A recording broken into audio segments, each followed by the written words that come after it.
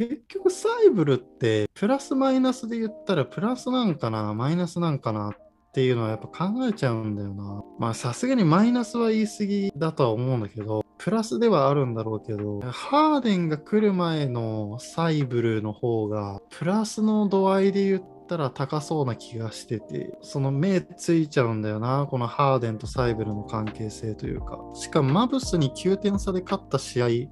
は、サイブルがスリーポイント3本ぐらい決めたよ。スリーポイント3本ぐらい決めたのよ。で、マブスに勝ったんだけど、いや、どうだろうと思って、それ怖くない？めちゃくちゃ。サイブルがスリーポイント3本決めないと、マブスに9点差で勝てなかったっていう見方もできるじゃん。怖くない？そこに、そこで差が出るっていう状況。だってそもそもそれが嫌だったから今までスリーポイントそんな打たせなかったんじゃないのって思うわけよ。確かに最近のサイブルって34分の2とか、え、なんかお前めっちゃ3決めるやんみたいな試合もあるんだけど、いやー、プレーオフでなんかサイブルが3打たされて、それが決まってってなっても、なんかそんな素直に喜べない気するんだよな。いや、怖いよ。その3決められるようになってきたってさ、そんなんだって急に成長するスリーポイントって。みんな3年、5年、10年かけてシュートなんてさ、鍛えていくのに、それがなんか、サイブルってどっちかって波ある選手だから、お疲れ様です。